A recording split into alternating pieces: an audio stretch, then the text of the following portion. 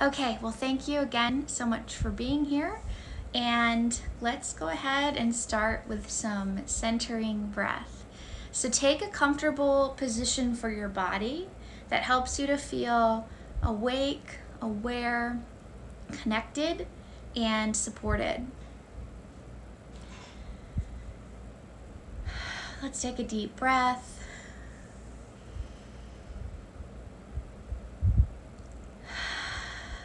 And allow your eyes to gently close.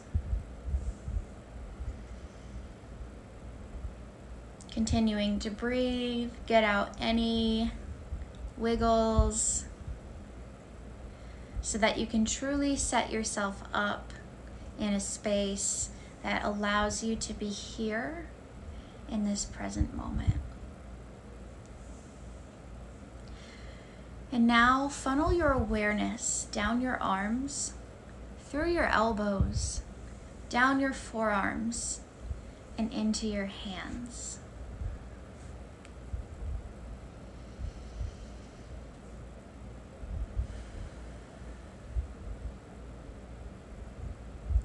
And keep your awareness in your hands, your palms, your thumbs, your first fingers, second fingers, third fingers, and your baby fingers. Shift your focus from one finger to another as a method of anchoring and centering you here.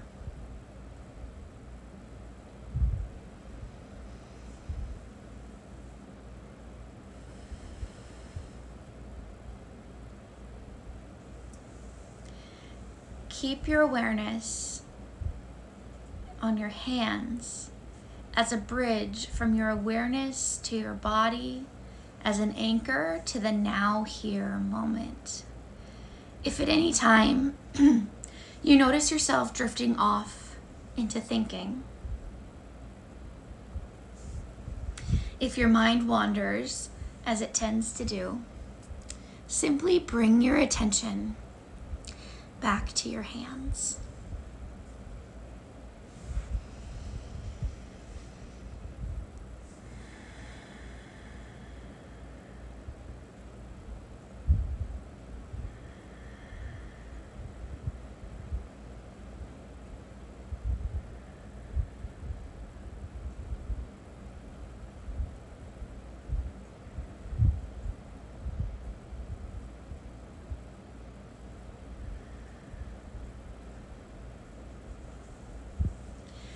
As you hold your attention on your hands,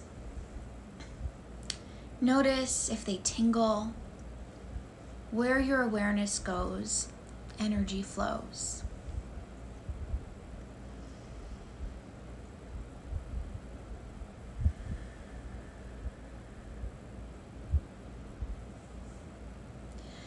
Your hands are a grounding point for your consciousness in the here and now.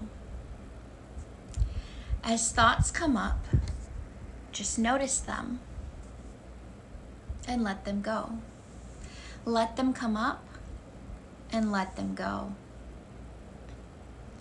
Put your attention on your hands and let your thoughts come up and let them go.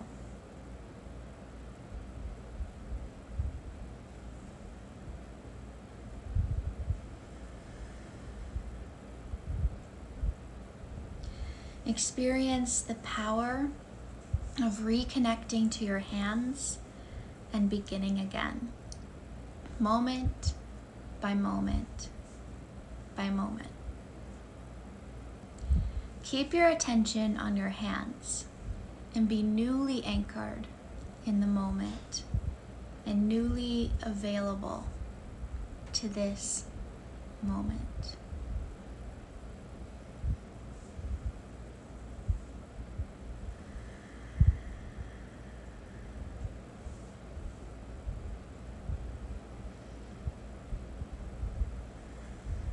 Now bring your hands to Anjali Mudra at your heart center.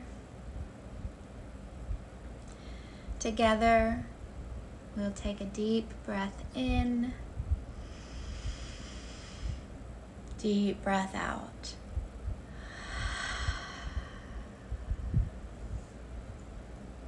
Bring your hands to your forehead center. And together we say, Namaste.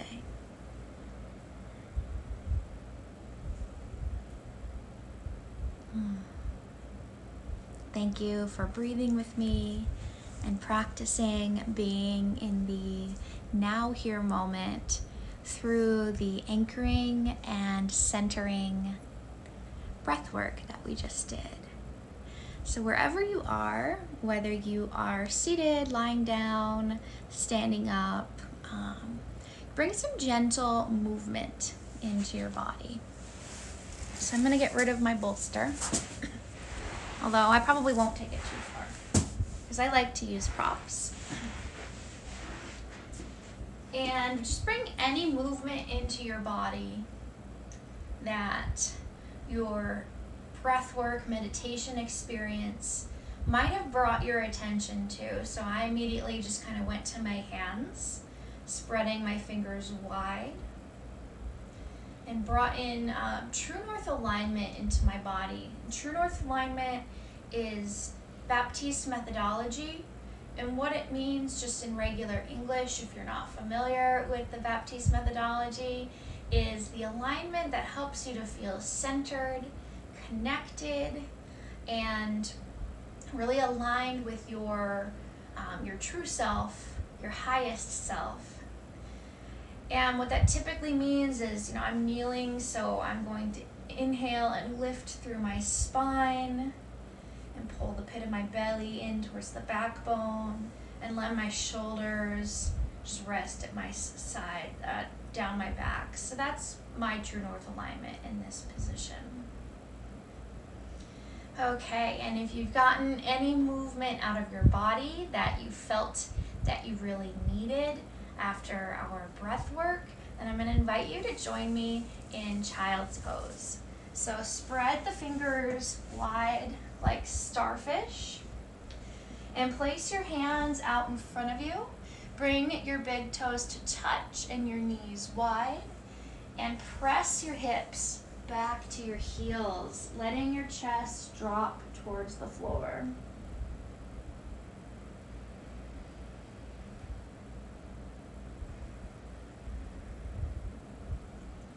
And we can anchor into the hands just like we did in our breath work.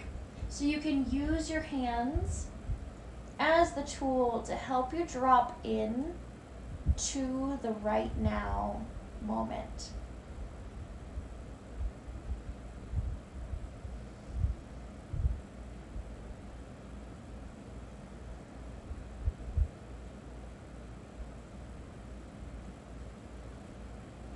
When your mind wanders, use your hands as an anchor to bring you back to the right here moment.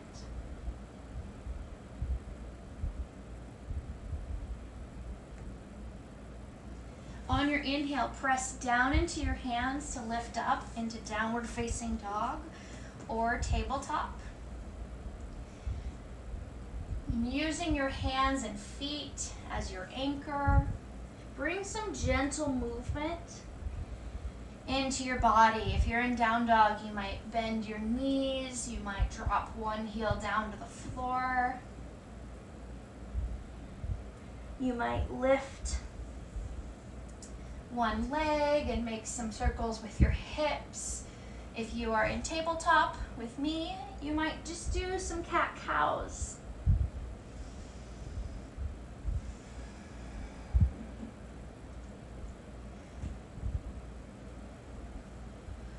Letting your breath, your connections to the floor, keep you grounded and centered in this moment.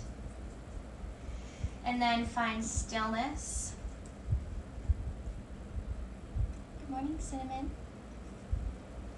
Pull the muscles into the bone.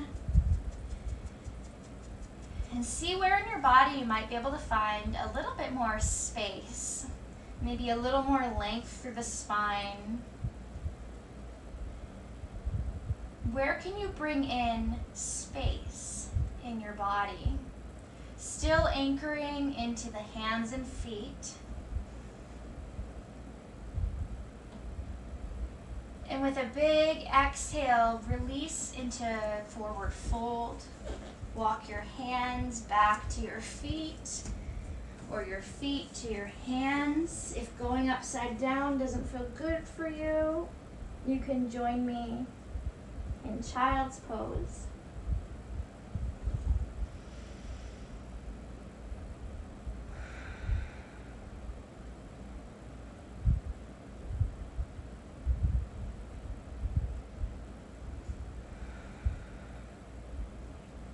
allowing the movement of your breath to help energy flow while the anchoring and centering in your feet or your hands help you to stay grounded and connected.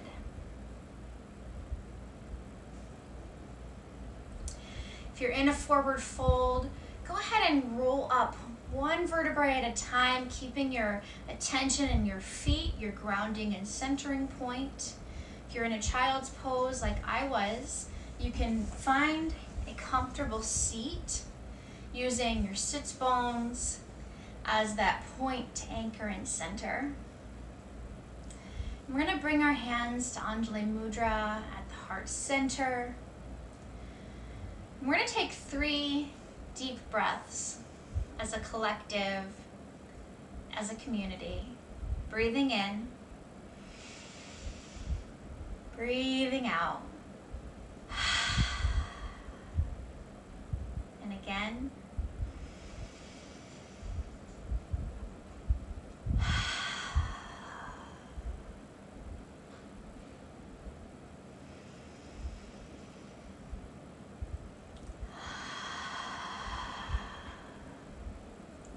Inhale, reach both hands up to the ceiling. Getting really long through the spine. Exhale, forward fold. Inhale, lift halfway. Come back to your anchoring and centering point. Exhale, hands to the mat, and hop your feet back to a high plank. Inhale, lower halfway down. Exhale, downward facing dog. Keeping your attention on your hands and your feet. Lift your right leg up to the ceiling. Bend your knee and make circles with your hip and knee. And again, if going upside down doesn't work for you, I'm demonstrating how to do yoga without inverting. Big circles, really waking up the hip joint. If you rolled out of bed recently like me, or maybe you've been up all day already. And take your right foot in between your hands. Find your new anchoring and centering point with foot firmly on the ground. Inhale, lift your arms up to the ceiling. Exhale, hands to heart center and twist to your right. Keep your spine long. Keep your attention on your grounding points. Exhale, unwind. Reach the arms up to the ceiling. And hands back down to your mat. You can take it through chaturanga, up dog to down dog. You can go to child's pose. You have all kinds of options here.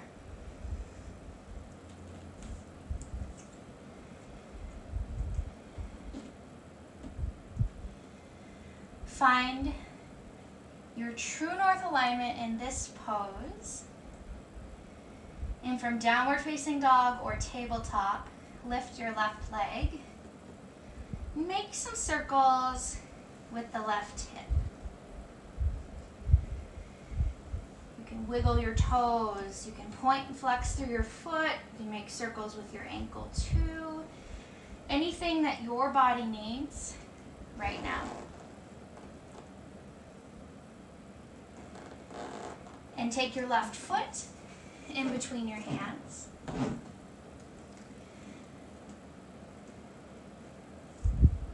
Find that point, that firm foundation, and reach your arms up to the ceiling. Big inhale, big exhale. Bring your hands to your heart and twist to the left side. Noticing where your mind goes as you're moving. My mind goes to places of, wow, I'm really out of shape, feeling nervous from the dizziness that I feel in my body. I'm just noticing that I tend to go to a place of critique. Where does your mind go? And can you use your anchoring and centering points to bring you back to right now? So, what I do is I'll press my feet into the floor, spread my toes wide, lift up through my spine. I'll use my body as a way to bring me back to right here. Okay, go ahead and unleash, the twist. Reach your hands up to the ceiling. Exhale, hands to your mat and take it through your chaturanga. On your own breath, upward facing dog, downward facing dog. And try not to judge yourself for where your mind goes as you're breathing and as you're moving. That's what our minds do. And see if you can use the anchoring and centering tools to just bring you right back to right now. Lift your right leg up and bring your right shin between your hands into pigeon. And take a deep breath in. And a big exhale out, folding forward.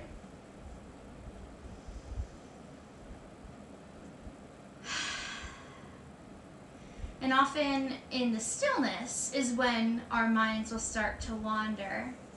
So see if you can create the anchoring and centering point that we did in our opening breath work. Maybe spreading your fingers wide on the mat. Maybe using your back foot and your front foot as the anchoring and centering point.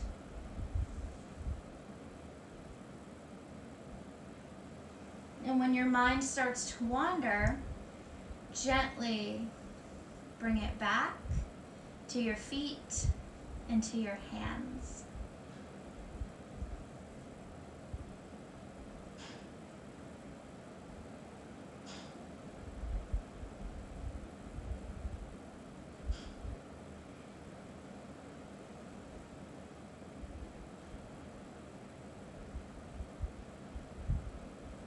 Notice any thoughts, any sensations anything that comes up for you right here. Acknowledge the thought, the sensation, the feeling, and then bring your attention back to your hands and your feet.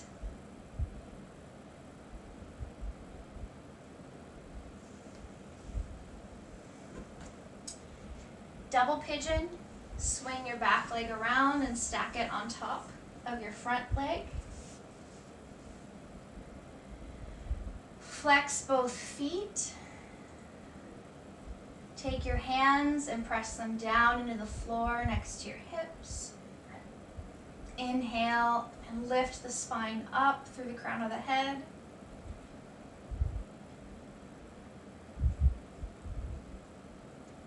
Anchoring and centering here in the now here moment.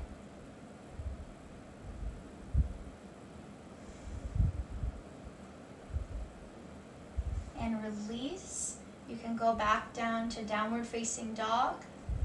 We'll do pigeon on the next side, or you can simply let your left shin come to the ground. Walk your right hip leg back. Coming back to the anchoring of the feet and the hands on the floor. I like to use my breath to center me.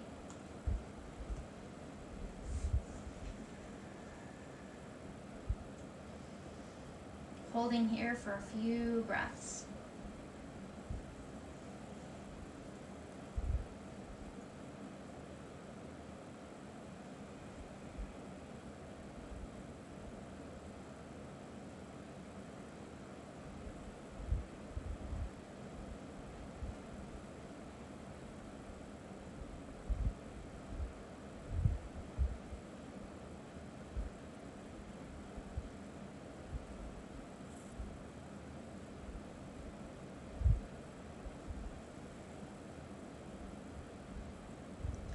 And every time your mind wanders, gently bring it back to the now here moment.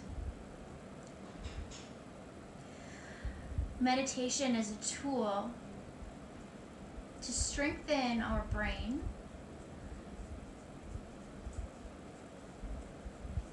and it's a practice to retrain the brain. You're in a fold, go ahead and lift up. Going to stack the right shin on top of the left shin for double pigeon.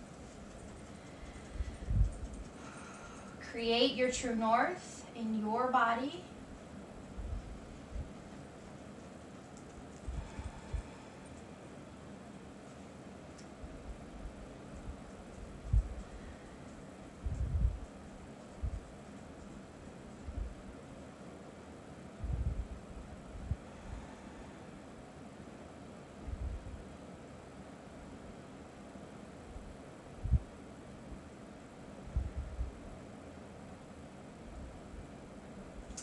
And release. Double pigeon, make your way onto your back.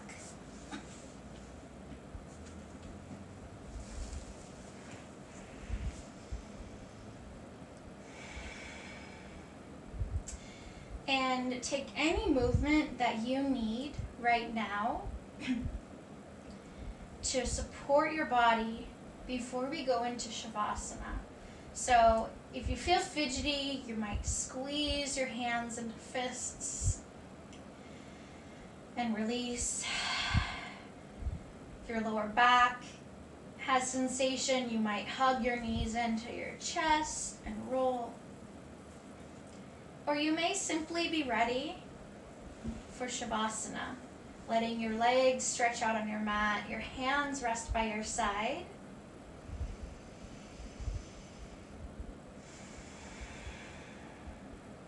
Allowing your hands and feet to anchor and center you.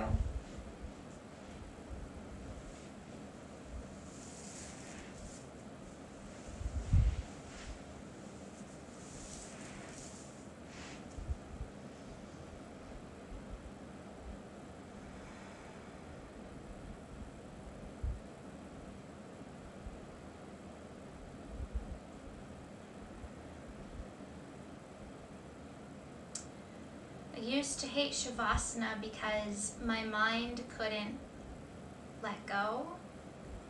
Teachers would say, you know, and clear your mind, and my mind just wouldn't clear. What I love about Shavasana now is there's an opportunity each moment to start again, to drop into the now here moment, to use my body to anchor and center. So I invite you, if you feel your mind wander, which is normal, to just keep coming back and starting again.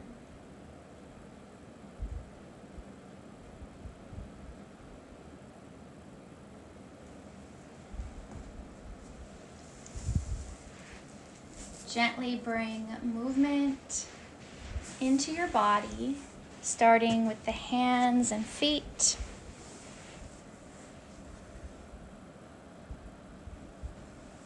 Wiggling the toes, maybe pulling the knees into your chest for a giant good morning hug.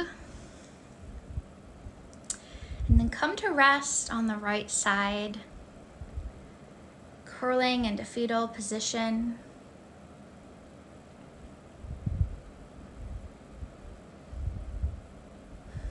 And then press yourself up to a comfortable seat. Keep your eyes closed. And let's anchor into the body. One last time together as a global community. Bring your hands to Anjali Mudra at your heart center. Let's take a deep breath in together.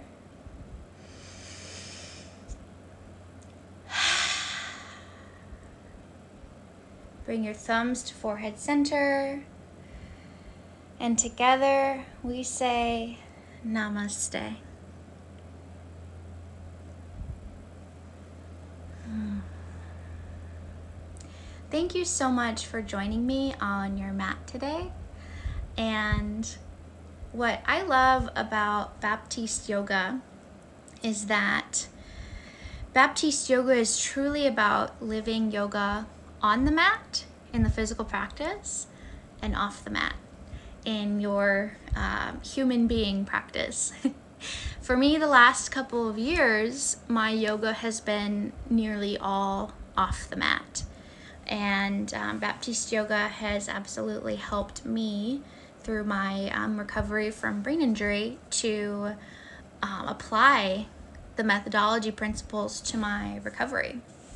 And so that's why, um, you know, the way that I might lead a practice is going to be informed by that background. If you're used to Brian leading practice or Jesse leading practice or any of the incredible teachers from around the world that we're featuring every week, um, it'll be a little bit different with each person, but the methodology, the language that we use is all the same and it's all yoga.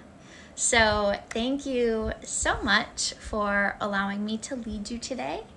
Um, and I hope to see you soon. On Instagram, tune in. We do free yoga. I believe it will be every Sunday morning this month. And keep your eyes peeled because we'll be doing another masterclass or workshop the final week of October. We're getting that settled in, yeah, on the calendar very soon. And um, we would love to connect with you. So please drop us um, a DM, slide into our DMs, drop us a comment, um, get on our email list, send us a message through our website, anything to let us know how we can serve you better through this crazy time. Because um, we all we all need it.